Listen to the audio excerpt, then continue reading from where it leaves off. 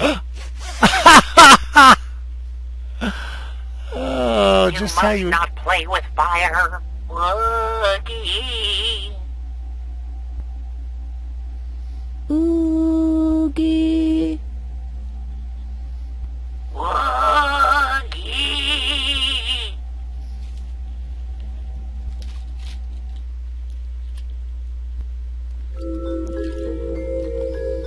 With the rabbit's help, Lilli had returned into a trance. At first glance, everything had seemed unfamiliar and strange. Completely alone, she cowered inside a cold cave that was illuminated by the giant, suspicious eye of Mother Superior.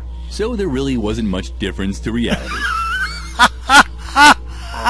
Gosh, that eye is making me, giving me the willy squidges. Damn. Lilli would lose this staring contest. Oh, contest. no doubt. Um. Okay, a curtain and a cord. Well, we may have a solution there. I'm gonna use the. Okay, we did that. We haven't looked at that. We haven't. We have a club. Lilli. Well, we knew Lilli's head was a interesting place. I just. Oh, I don't have a. It doesn't tell me anything about it. It was a wooden club, like Lilli had heard about in stories about the Stone Age, trolls, and baseball players. okay.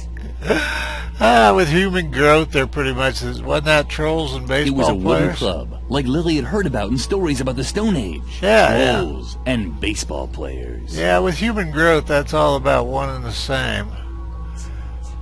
I don't. Well, crap. I can't go into the gallery. Maybe because Mother is watching me. Well, I, I don't think we have any options here. Ow! The gas! My eye's burning! Who was that? The dust from the curtain.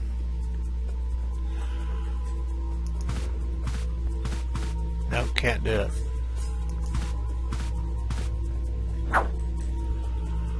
I'm thinking dust from. I assume we still can't do it. That wasn't a get out of jail free, was it? I'm thinking dust and curtains and uh, Lilli's chores. Did we lose Edna's map somehow?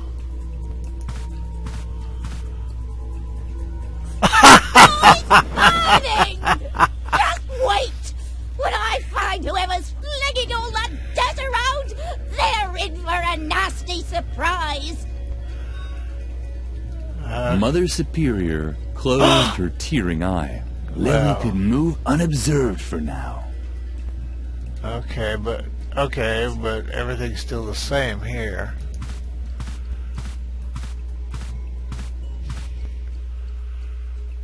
Okay, where are oh oh that's right we're my eye's burning! okay. So we're in Lilli's mind and it's Harvey. Hey Harvey. Lilli could hardly believe her eyes. A real cylinder. Right on top of the head of the talking snowman. A cylinder, huh? Well, we have firewood, but I think our inventory is down to, uh, and I still don't know what happened to Edna's map. Lilli could hardly oh, believe okay. a real. Right on top. Alright, is there... That's the Mother Superior. I guess I should use the space bar like I got a brain.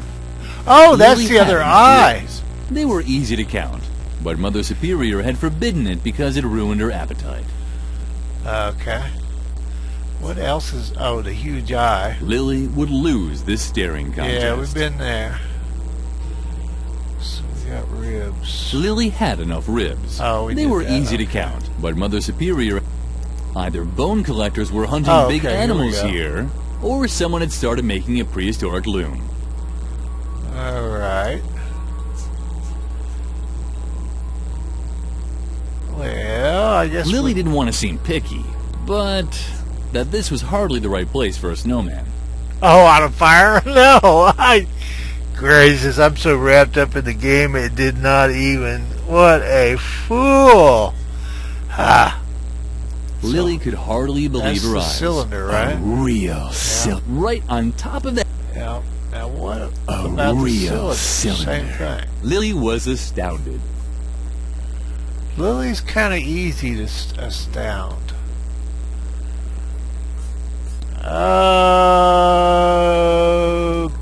Okay, I'm kind of getting nothing. Shoot, I don't know if I checked all the way at the. Whoa! What the hell are you? After dealing with the curtain, Oh, Mother Superior's eyes. had apparently taken her contact lenses out. Strange.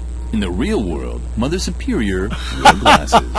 but in the real world, Mother Superior wasn't 50 feet tall either. So it was probably fine. Uh, so can we pick you up? Oh, of course we can. We're not dealing with the real world. Um, well, back to the gallery. Oh, do you know that they actually didn't do all that stick thing and, and rubbing sticks against wood to make fires? A lot of uh, old trappers and what you call it guys uh, carried, uh, uh, damn it, magnifying lenses around with them. But what we're going to do with it is, are we going to just hear the Mother Superior After dealing with the curtain, Mother Superior... Yeah, Strange. okay. But in the real world, Mother Superior wasn't 50 feet tall either. So it was probably fine. So what we need is a light source and well he's got wooden ears but I don't I don't okay. Alright, well maybe we could well I'm sure the firewood's there for a reason. What the hell am I doing with this lens? I don't see another option.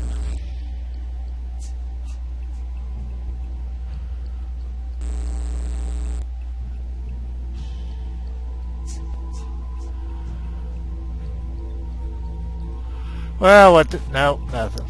Lilli didn't need a visual aid to see that this was hardly the right place for a snowman. And Lilli didn't need a visual aid Yeah, that this was okay. hardly the right place for a snowman. What about the old cylinder? Even without a magnifying glass, it was apparent that the snowman Oh, was no quite doubt. stylish. He is definitely stylish.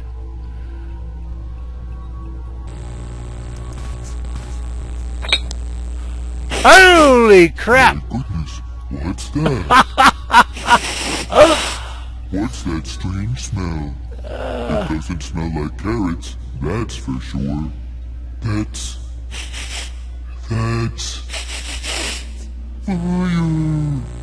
Ah, I'm burning! Take off my hat! Take it off! That's your tush into the toaster, buddy. Lilli wasn't quite sure. Oh. She wasn't actually allowed to play with fire. Now do something, Lilli. Take off my I can't. Take it off.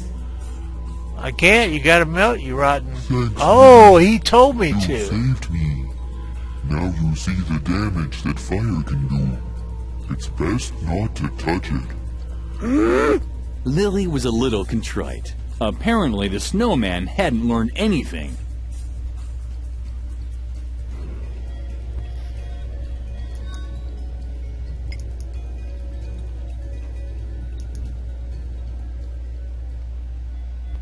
Oh! I didn't.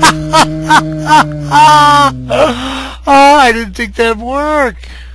Lilli had put out the fire, just like the snowman had told her to. Hopefully, he now realized that there were quite appropriate situations where one could play with fire. I are we coming out of it? Oh, I love that. That's just glorious. I want the t-shirt. Damn. If anybody finds that, I'll have to Google it myself. I'm just too lazy. Congratulations! Lilli has acquired a new skill. She can now get around the ban on playing with fire.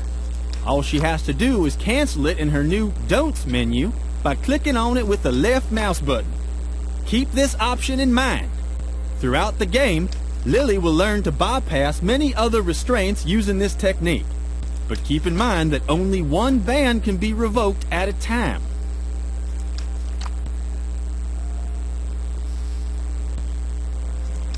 So, can I click on any restriction?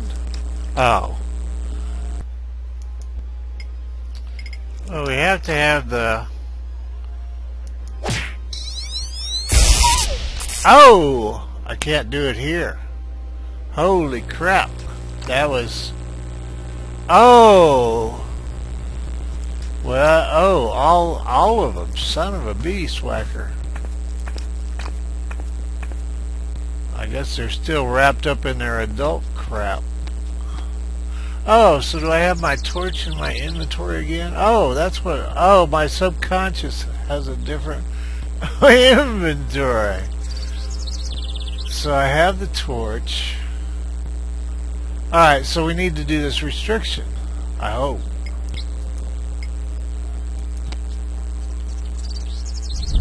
Oh, I guess it's already done. I thought you... Uh, hell, maybe I accidentally clicked on it. What What the hell? How do I know? Okay, let me do a quick uh, spacebar check. Yeah, okay, so we need to... Oh, shoot. Is it in my hand still? Lilli! One of us has to With the help of the torch, Lilli could finally inspect the mysterious bracket. What a surprise! It was a torch bracket, but there was still no trace of the promised secret passage.